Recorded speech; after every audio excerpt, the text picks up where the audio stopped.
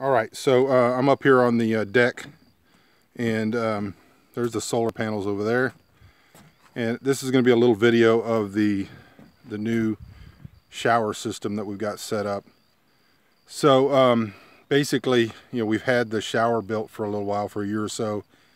And you could take bucket showers and then, um, uh, and our whole principle is that we try to um, uh, set it up to where we have redundancy so that we always uh, are not dependent on the technology. And so um, that's what we've done here. We started with the most low-tech solution, which is just uh, bucket showers uh, right in the shower that we built. And then the next stage is we built this uh, little tower, representative little tower.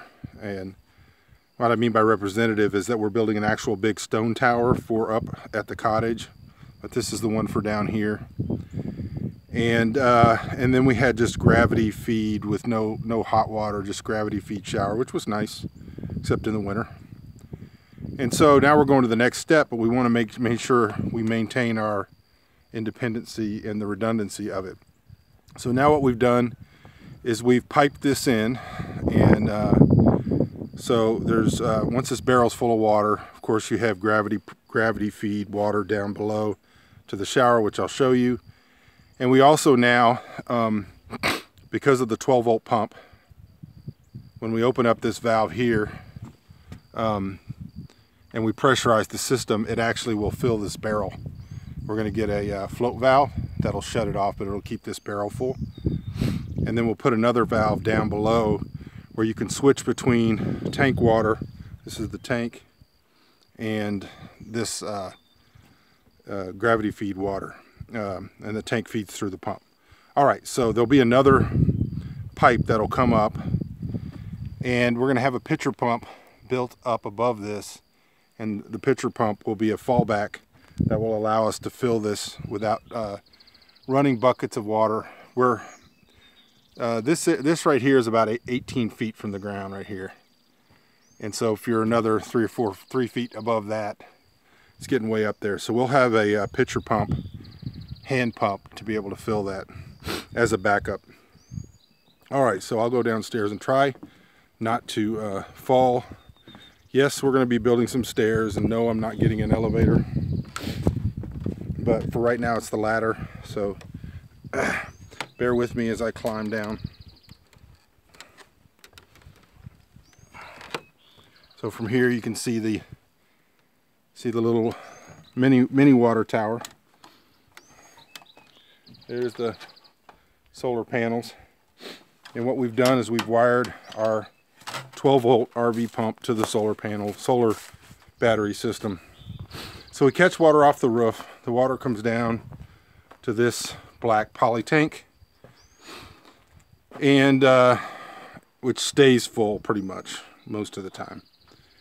And now we've piped it uh, in down there below. There's a drain for when it freezes.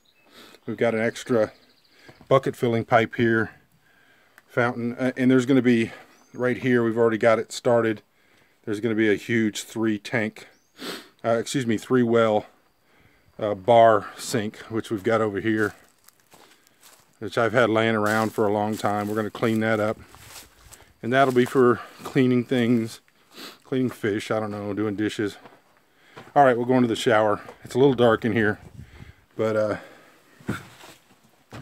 all right, so water comes in from down below the very lowest part there, and it comes in, and this is the pump, and the pump draws the water from the water tank, and then it goes into the system, which is pressurized, uh, which pressurizes the system. It comes on when the water comes on. The pump kicks on.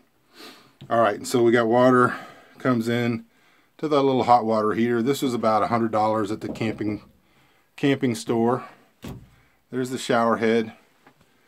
And then we've got set up here, there's a pipe that's going to be going out to the sinks. We'll run hot water and cold water out to the sinks. So basically, if you uh, if you have solar and you have power, battery power, you can run the pump. Everything's automatic and you get full pressure. If for some reason we don't have that or don't have access to it or the sun hasn't been out for a while or we've lost access to solar power, we can switch over to the gravity feed pipe which comes from up there which is the barrel. It will still feed into the water heater if we have propane. If we don't have propane we just don't use it. We go back to but we can still use the shower. All right? So we're still not done. We still got quite a few things to do and I'll show you another video once we get the sinks hooked up and all that. But for now uh, I just took the first shower here